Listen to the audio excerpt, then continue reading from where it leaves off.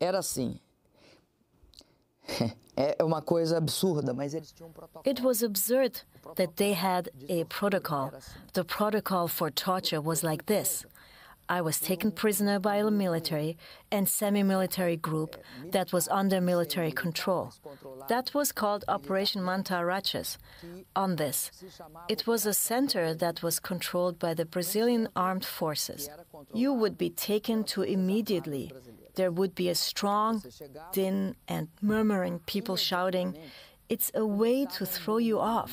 And then well, the first thing they would do in my time, well, later it was different because they'd put hood on people. But when I was a prisoner in Rio de Janeiro, they did the following they would throw water at you and they would also connect wires to your toes when they still hadn't taken off your clothes, and they would also place on your head and ear these electric cables. The worst thing in torture is electrical shock.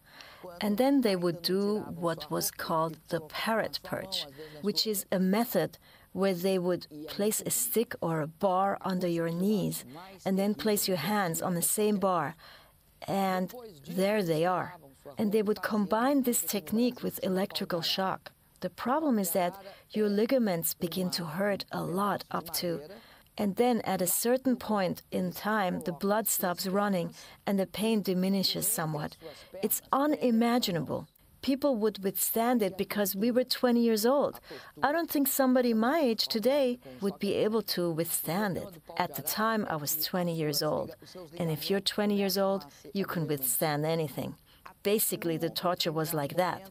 Now, there is a basic component of torture in all torture in all times of history and everywhere. The person who is torturing, the group that is torturing you, wants you to perceive, first of all, that you are not part of the category of human beings, and also that no one likes you, and that no one has a relationship of understanding with you. That is to say, a relationship whereby I recognize you, you recognize me and we haven't a certain empathy because we're the same gender or because we have common experiences for several reasons, or even just that because we're all human beings. So they want to short circuit that perception, and they have two ways of doing so aggression, but there's also another, which was to block you. That is to say, by placing a hood over you and you don't see the person who talking with you. So you have an issue of sensory deprivation, and that is also very common.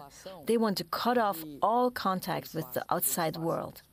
Te tira o contato com o mundo exterior.